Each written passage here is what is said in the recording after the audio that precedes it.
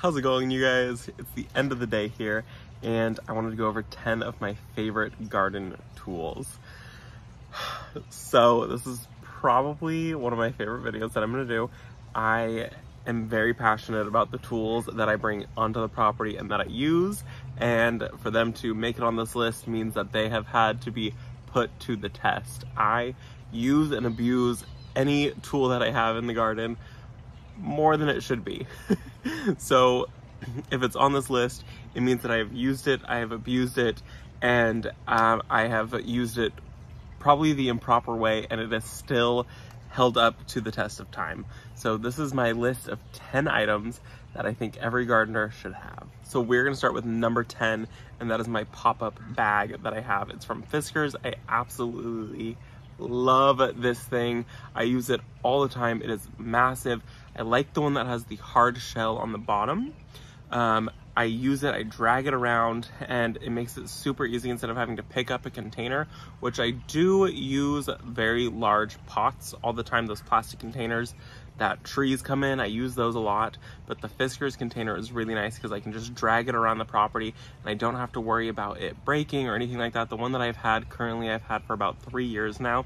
And the only problem that I have with it is that the handles popped off, which is totally fine because I just grab it by the edge of it and it has no holes, no tears, um, no other damage than the handles being gone, and it's holding up totally fine. So highly recommend a Fiskars hard bottom shelled pop-up container. It's really nice because you can put it away and it collapses into almost nothing at all. And what's really nice about this bag too is that it holds up to about 30 gallons worth of yard waste material. So that's a lot of product. It's a 30 gallon bag. So, and I shove that thing full.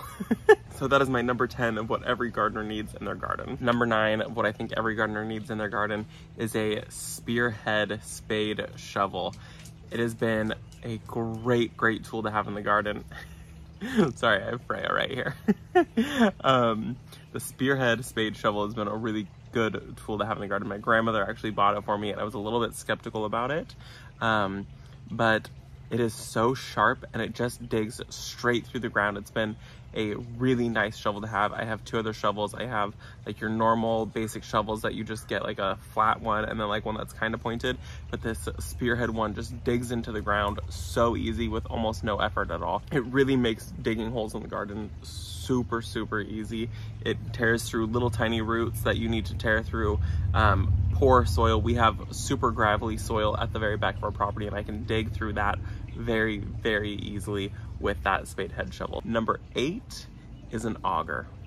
And not just any auger, I think that you specifically need a hex head auger, which is the type of bit that goes into the drill. And so that's going to be at the end of the auger, that's the portion that goes into it, and specifically a hex head because those are the ones that are going to last. If you buy one of those cheap ones that have a more rounded head, you're gonna end up stripping the head on it and um, you just wasted $20 on a cheap auger. So I have one that I spent about $45 on. It's a power planter one and it's small. I really like it. It's strong. It's so sturdy. Um, I've had it for about two years now and it gets the job done. So an auger is really, really great because it makes it so I can drill those holes into the ground when I don't want to get a shovel out. My only problem with augers is that it does fling the soil everywhere. So after I've already mulched a bed, it's a little hard to want to pull out the auger. I do still pull it out, but I just go really slow in those beds. Um, augers have really been a huge game changer. I was always using shovel for everything. And while using a shovel is nice and easy, especially when digging a big hole, uh, an auger is so fast. It takes no time and no effort at all to use an auger. The only problem is with an auger, you do need a drill. Um, I use the Ryobi cordless drill and um, so while you're spending a good amount on the auger, 50 bucks, 60 bucks, I think they go up to like $120 for a good auger. You're also spending that on a drill. So it can be quite a pricey investment, um, but still I really do think it's worth it for the amount of time that you save and energy that you save rather than having to dig a hole for every little thing that you put in the garden. The seventh thing that I think every gardener needs in their garden is jute twine. Oh my gosh, we go through rolls and rolls of jute twine in our garden. I buy it usually about two or three rolls a year and we will go through the entire thing. I like the jute twine because it is soft where it's not going to damage the plants and by the end of the year all those things that I've needed to tie up, the jute has already started to fall apart, so it's not plastic, leaving little bits of plastic all throughout my garden. The jute twine will disintegrate, and if I cut it and just leave it there, it doesn't matter. It'll, it'll go right back into the garden. It's just jute. So um, we go through a couple rolls each year. I really love that stuff. And it's not too hard on the plant when you're tying up your plant up to something else. So um, if you do end up using things like rope or whatever, you can end up usually damaging whatever it is that you're tying up because rope is a little bit too hard.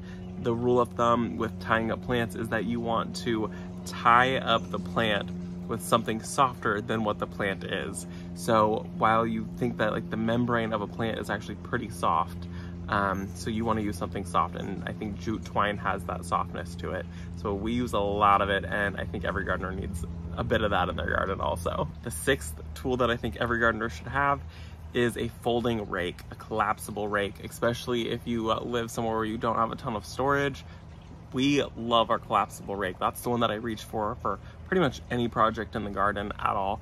Um, it's nice because I can get into little corners and little areas that I need to get a rake into, or I can extend it all the way out and I can pick up huge loads of things. The one that I picked up was actually relatively cheap and it's been great. We've had it for about two years now and um, I have really abused it. I didn't think that it would hold up to picking up large amounts of debris and plant product in the garden and it does a really really good job on that so folding rake everyone needs one of those that has been a huge game changer we have those big huge bulky rakes and they take up so much room in the garden and sometimes they're nice here and there but then when i have to go into a flower bed and rake things out I can't without damaging plants. So the folding rake is nice because you can like choose the size that you need the rake to be, which like I think like the smallest size is like this big. So it's actually really, really perfect. Number five that I think every gardener needs is a hand saw.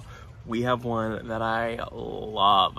I use it for anything that's bulky. I use it at the end of the season to cut my dahlias down, to cut sunflowers down, all kinds of different things that I don't want to accidentally ruin a pair of clippers or loppers or anything like that. I don't want to damage the blade, so I reach for my handsaw. It is so incredibly fast.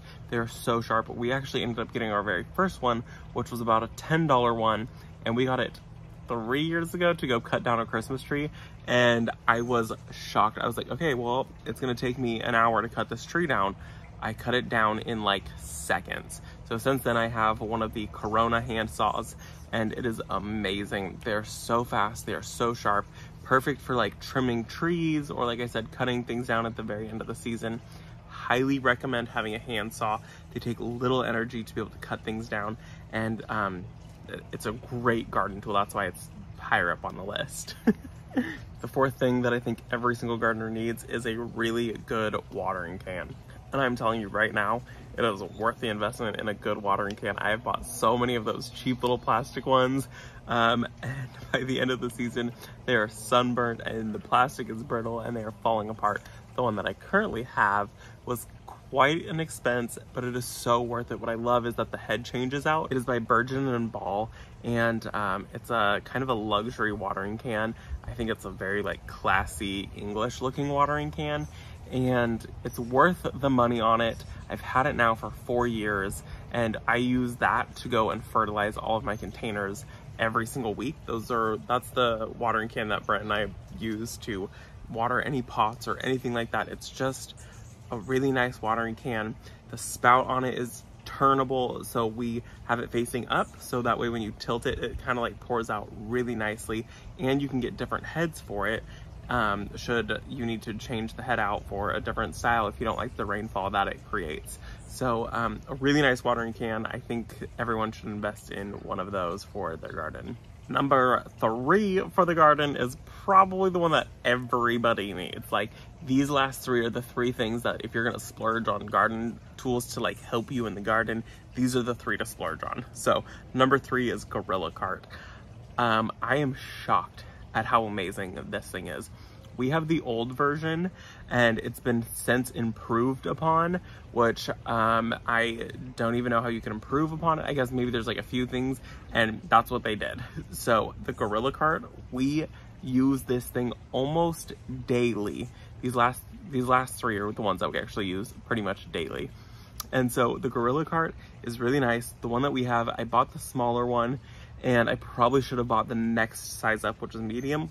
I would say for any normal home gardener, I would buy the small one. But because we do so much gardening and um, because I'm doing it so much for YouTube, that I should have bought one more up. But this thing has been used and abused. This thing, we use it to bring groceries in. We use it to haul the dog food from the car to the back door. I use it to haul the chicken feed from the driveway all the way back there to the chicken coop. Um, my plants, we used it to put all the soil in our backyard for the flower farm. This thing has been a lifesaver. We have a wheelbarrow. I prefer the Gorilla Cart 100% over the wheelbarrow the wheelbarrow, you know, you got to use both hands and you have to pay attention to what you're doing. And if you don't, it could tip over. The Gorilla Cart has four wheels. You pull it right behind you. It's like a little wagon and um, it's amazing. I, I, love the Gorilla Cart. I, I will be buying another one. Ours, we have really abused. It holds up to a certain amount and we continue to push it past that certain poundage that it can hold and um, we abuse it. So I'll be buying another one here very, very soon. Um, the one that we have, we've had for almost four years now, and it's been a huge, huge help in our garden and just at our home with like everyday needs that we need to like go get something from the shed, and then we just haul everything up to where it needs to go. Number two, and I'm sure you guys can guess these last two. Number two is a Hoselink, and I am shocked at how much this thing has changed my life in the garden. You know, I hate reeling up hoses. My next door neighbor, she'd gone out of town and I was like, yeah, no, I'm not winding your hose up. I'm not doing that. We have two of them on the property and they are amazing. It's just, it's, they're clean, they're simple.